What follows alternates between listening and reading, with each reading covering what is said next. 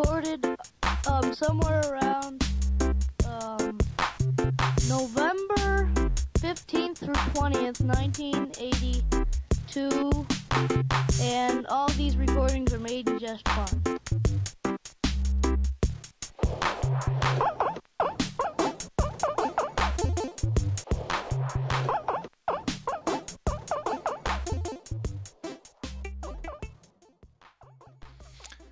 Alright guys, uh, welcome back to, I think this is week 5 or week 6, I can't remember, ah, it's just been going so fast, you know?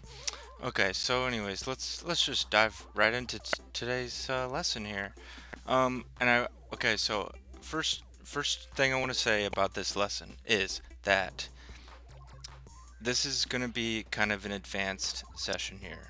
So if you're not confident in uh, your skills at this point and I'm making it look a little too easy on here maybe. That's some of the feedback that I've gotten. Um, just go back to the the first second video third video where it's a more basic lesson. Maybe that'll get you up to speed. Okay with that being said um, let's let's get more specific on today's lesson on exactly what it's going to be. Okay. Okay so um, as you can see here, I've, this is a picture that could have been a really great picture had it not been photobombed.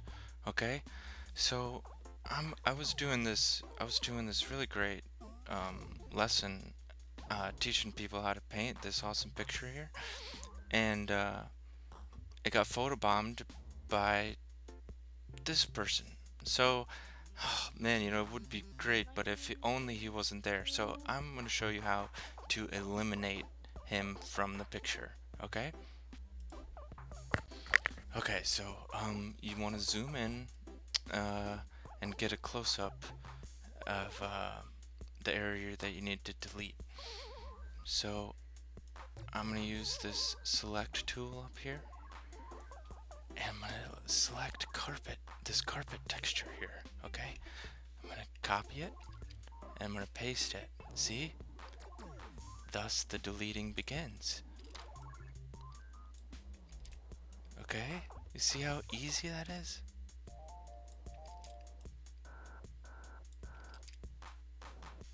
All I'm doing is us using the Control C and the Control V function.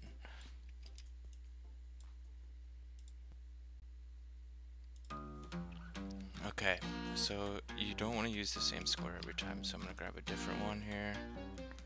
Okay, and notice how it's going to look unrealistic unless I put the cabinet coming out here. So that's that's what I need to do. So I'm just going to finish the carpet here. Okay. That was pretty easy, right? Now, um, we have to do just the same thing, but with the cabinet over here.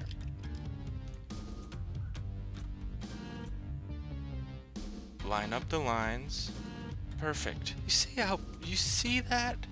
Oh my, oh my gosh. Look at how, that couldn't be any more perfect right there. Okay, I don't want to brag about, I don't want to, I don't want to brag. I shouldn't do that. But, you know, you can, you could, if you just practice and do this every day, you too could be able to pull off great moves like that. Just continue that up there.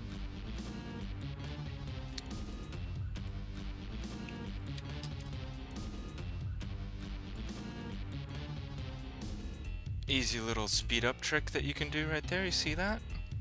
You just stretch it out to make it take up the whole thing. Now I actually really enjoyed that part right there, so I'm going to copy it and paste it again.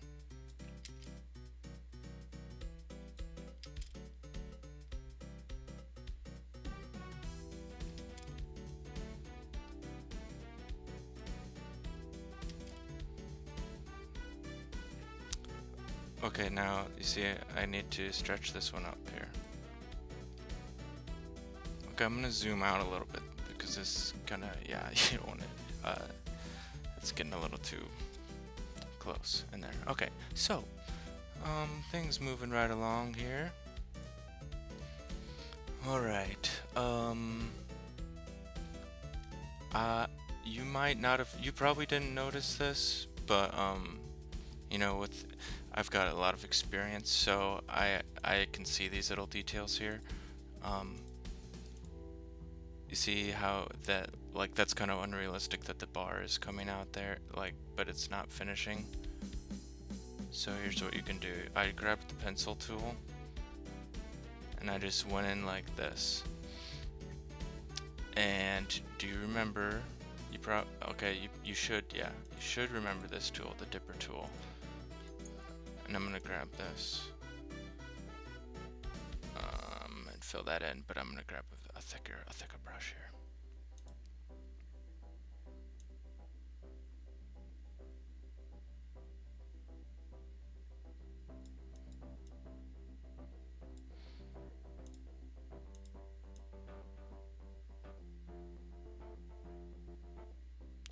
now I'm getting really nitpicky here.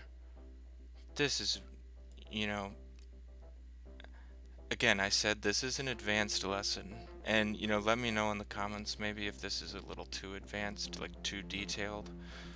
Because you guys probably didn't even notice these little mistakes. But I'm going to fix them anyway, because, you know, it couldn't hurt. It couldn't hurt you guys to uh, see these, uh, to see me actually go in and do, like, kind of like more a more professional level. Uh, I got a song on repeat here, so hold on. Okay, so I've already started a little bit here, but it's another uh, little way you can make a 3D effect is using a light color and a dark color. In this case, it's a light brown and a dark brown and I do the dark brown on the bottom to create the shadow illusion. These are illusions. It's not magic, but they are illusions. Okay. And again, you know, just details here. Not that important, but, you know, kind of perfectionist, so uh, let me get the rest of this here. I think this thing, I don't remember actually what this looked like but I think we'll just make it go back like that. It's like a book rack or something. This isn't a library. Okay. Okay, so let's get zoomed out. You're probably getting sick of looking it up that close. Okay. Um. What else? Oh, I can't. Okay. Actually, you know what? It's looking pretty great. It's, I would say that's actually done. So let's get a before and an after picture here for you. Alright, so I got you a perfect view of uh, the before and after picture. So this is the bef before and af after. Uh, so yeah, um, you might have to watch this video a couple times for it to really sink in because I know I moved really fast there and it's pretty some, some difficult techniques. But um, I think uh, anyone with the right amount of practice you know uh, can do this. So I really hope you enjoyed this video. Uh, that's the end of the lesson here. And I'm just gonna do um,